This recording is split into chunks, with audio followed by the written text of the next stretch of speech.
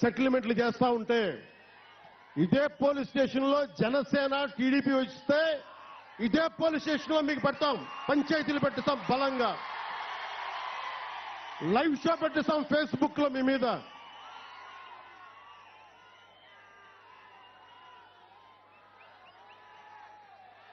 Cost certificate కావాలంటే డబ్బులు మీకు. మీ ఎమ్మెల్యేకి మీ ఎమ్మెల్యే కొడుక్కి ఏదైనా మాట్లాడితే దాడులు బాధితులుగా చెప్పుకో చెప్పుకుందామంటే మళ్ళీ బాధితులపైన కేసులు పోలీస్ స్టేషన్లో. ఇది పోలీస్ శాఖ మీద చాలా అపారమైన గౌరవం ఉంది. పోలీస్ శాఖ వారిని మరి పని చేయనిస్తే కదా మీరు? చేయనిస్తాం మేము. ఆంధ్రప్రదేశ్కి రూల్ ఆఫ్ లా. మీరు ఏ పోలీసులైతే ఇబ్బంది పెట్టారో అదే పోలీసుల చేత మీకు మక్కలు ఇరగొట్టేలా మేము చేయిస్తాం మీకు.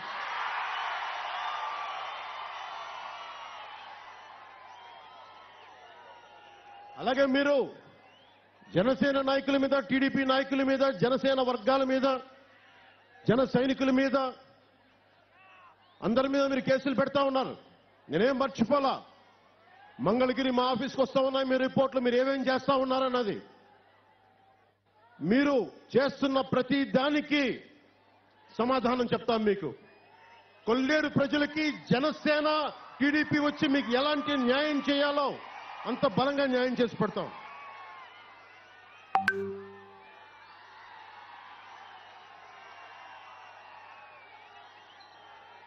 వాళ్ళు గుప్పిట్లో పెట్టుకుంటా ఉన్నారు. ఒక ఐదు సంవత్సరాలు ఎందుకొందుకే ఎమ్మెల్యే కొడుకు కూడా కొమ్ములు ఇచ్చినాయి మనకి కైకలూరులో. ఎమ్మెల్యేకి ఎమ్మెల్యే కొడుకి కొమ్ములు ఇరగ్గొట్టు కింద కూర్చోబెడతాం మీకు.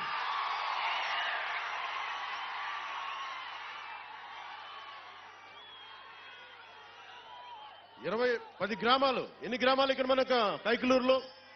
వైసీపీ తప్పకి ఉండకూడదని చెప్పి వైసీపీ గ్రామాలని పేరు పెట్టారంట. ఎన్ని గ్రామాలు? పది గ్రామాల? ఇరవై గ్రామాల? ఎన్ని గ్రామాలు బాబాయ్? పది గ్రామాల వైసీపీ రహిత ఆంధ్రప్రదేశ్ చేస్తాం. అప్పుడు మీ గ్రామాలు ఎక్కడుంటాయో మేము చూస్తాం. భయపడుతున్నారా మీరు? వైసీపీ జెండా తప్ప ఇంకే జెండా ఉండకూడదా? ఇది ప్రజాస్వామ్యం అనుకుంటున్నారా? ఏమనుకుంటున్నారు మీరు? ఫ్యాక్షనిజం అనుకుంటున్నారా మీరు? దౌర్జన్యం చేద్దాం అనుకుంటున్నారా మీరు? ఒకటే గుర్తుపెట్టుకో. YS Jagan YCP MLA. మీ నాన్న వైఎస్ రాజశేఖర రెడ్డి గారిని అప్పుడు పోరాటం చేసిన వాడిని ఎదురు నిలిచిన వాడిని నువ్వెంత నీ బతికెంత? వైసీపీ ఎమ్మెల్యే కూడా చెప్తున్నా. మీరు కనుక అడ్డగోలుగా దాడులు పోలీస్ వ్యవస్థని నిర్వీర్యం చేసే పనులు వీటన్నిటికీ సమాధానం చెప్తాం. రేపు పొద్దు నుంచి మీరు ప్రశ్నల్లో ఏం మాట్లాడుకుంటారో ఏం వాక్కుంటారో వాక్కోండి. భవిష్యత్తులో ప్రభుత్వం మారిన రోజున మీకు ఉంటుంది కదా మీకు మొత్తం కొల్లేరు మొత్తం తిప్పిస్తాం మేము పాదనడకని తిప్పిస్తాం మిమ్మల్ని. వీళ్ళు రోడ్లు వేయరు. రోడ్లు వేయరు. వంతెనలు నిర్మించరు. కలిదండి కలిదండి మండలంలో నా దృష్టికి ఒక ఉదంతం వచ్చింది. వినాయక చవితి లడ్డుకి పాట పని వేసుకొని మేము లడ్డుకు వచ్చిన ఆదాయాన్ని రోడ్డు పనులకు పెట్టుకుంటామంటే మళ్ళీ వైసీపీ ఎమ్మెల్యే వచ్చి అవసరం లేదు మేము వేసేస్తాం రోడ్డుని చెప్పి ఆ రోడ్డు మీరు చేసుకొని ఇవ్వరు. మీరు రోడ్లు వేయరు. ఇది పరిస్థితి. ఎనభై కిలోమీటర్ల రోడ్డుకి మనకు దిక్కు లేదు మనకి కైకలూరులో. ఎనభై కిలోమీటర్లకి. ఎటు చూడినా దారి పొడవునా వస్తా ఉంటే ఎన్ని యాక్సిడెంట్లు. బైకులు పడిపోతూ ఉన్నారు బిడ్డలు. పడిపోతా ఉన్నారు యువత. నా కళ్ళ ముందే ఒక మహిళ భర్త పడిపోయారు. రోడ్లను చూసి గుంతలు చూస్తా. గుంతల్లో పడిపోయి రోడ్లు వేయలేరు. దౌర్జన్యానికి రెడీ మీరు.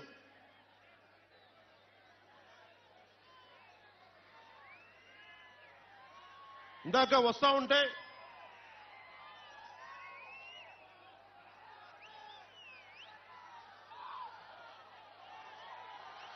ఇందాక వస్తా ఉంటే ముదినేపల్లి మండలంలో ఆరు వేల మంది ప్రజలు ఉన్నామన్నా ఇక్కడ ఇంగ్లీష్లో రాశారు ఇది. ఆరు వేల మంది ఉన్నాం. చుట్టూ కొల్లేరు ఉంది. నీటి సరస్సు ఉంది. కానీ మాకు తాగడానికి నీళ్ళు లేవు. ఆరు వేల మంది మేము ఇబ్బంది పడతా ఉన్నామని. నీళ్ళు లేవని. కనీసం ఉన్న ట్యాంకుల్లో మనకి కాలుష్యం ఉండిపోయింది. కాలుష్యం నిండిపోయింది. కంటామినేట్ అయిపోయింది ప్యూరిఫై శుద్ధి చేద్దామంటే అసలు శుద్ధి చేసే వ్యవస్థ లేదు ఇక్కడ. క్యానల్స్ ఉన్నాయి. మనకి నీళ్ళు పారుతా ఉన్నాయి. అన్ని వచ్చే మొత్తం కాలువల్లో మొత్తం కాలుష్యంతో నిండిపోయినాయి. మాకు స్కిన్ డిసీజెస్ వస్తూ ఉన్నాయి. శారీరక రుగ్మతలు వస్తున్నాయి శారీరక వ్యాధులు వస్తున్నాయి. కిడ్నీలు దెబ్బతింటా ఉన్నాయి.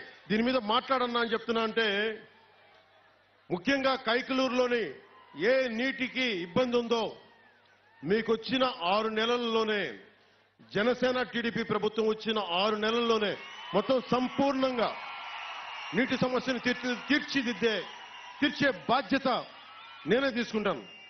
కొల్లేరు నేను చిన్నప్పుడు పాఠాల్లో చదువుకున్న కొల్లేరు ఇది. అందుకని ఆ కొల్లేరు మీద నాకు చాలా అపారమైన గౌరవం ఉంది. అందుకని కొల్లేరు ప్రజలకి కైకలూరు ప్రజలకి నేను మాటిస్తా ఉన్నాను. జనసేన తరపున తెలుగుదేశం పార్టీ తరపున నేను మాటిస్తున్నాను మీ నీటి సమస్యను తీర్చే బాధ్యత మేము తీసుకుంటాం.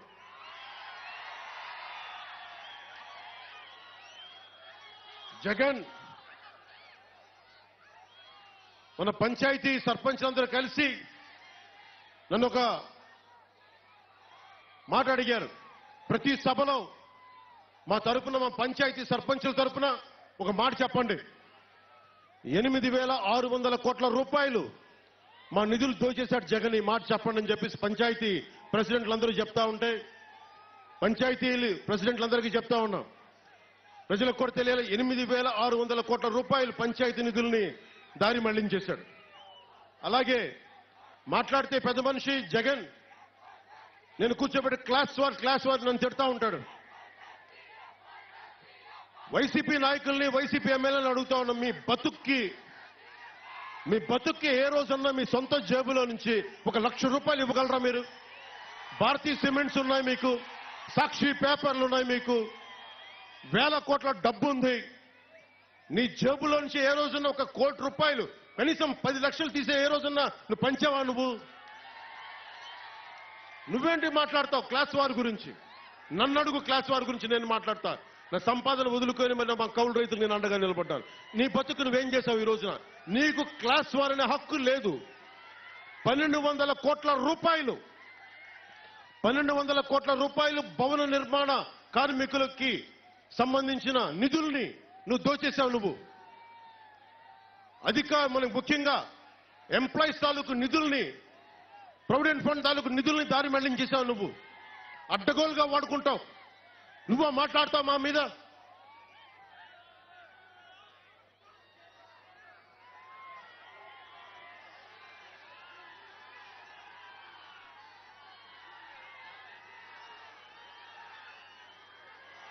పంచాయతీ నిధుల్లో నా దృష్టికి ఎందుకు వచ్చిన ఇరవై గ్రామాల్లో కట్టకట్లాడుతున్నాయి నీళ్ళకి ఇక్కడ. నిధుల్లో పంచాయతీ నిధులు లేకపోతే డబ్బులు ఎక్కడి నుంచి తెచ్చుకుంటారు వీళ్ళు? నిధులు లేవు. పోనీ ఏదైనా శుద్ధి చేసుకుందామంటే చెరువుల్లో నుంచి శుద్ధి చేద్దామంటే డబ్బులు లేవు. ఉన్న డబ్బులేమో ఈ పెద్ద మనిషి పట్టుకెళ్ళిపోయాడు. ఫిల్టర్ బెడ్స్ పెడదామంటే డబ్బులు లేవు. శుద్ధి చేద్దామంటే డబ్బులు లేవు. ఈ డబ్బులంతా ఎక్కడికి వెళ్తున్నాయి? మీరు చెప్పండి. ఒక్కొక్క మందు బాటిల్ ఎంత? బూమ్ బూమ్ అని ఏదో చెప్తున్నారు మీరందరూ ఓటేశారు కదా మీకు? వైసీపీకి ఓటేసిన చాలా మందికి చెప్తా ఉన్నాం. మీకు మందు బాటిల్ ధర పెంచేశారు. ఒకవైపు డబ్బులు ఇస్తా ఉన్నాడు.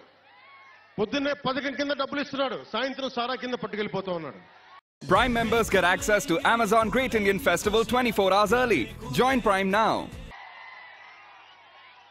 మా నాన్న అబ్కారీ శాఖలో కూడా పనిచేసిన వ్యక్తి. నాకు తెలుసు కల్తీ సారా ఎలా ఉంటుందని. ఆంధ్రప్రదేశ్లో మొన్న హైదరాబాద్లో డాక్టర్లందరూ చెప్తా ఉన్నారు. ఆంధ్రప్రదేశ్ నుంచి కేసులు ఎక్కువైపోయినాయి.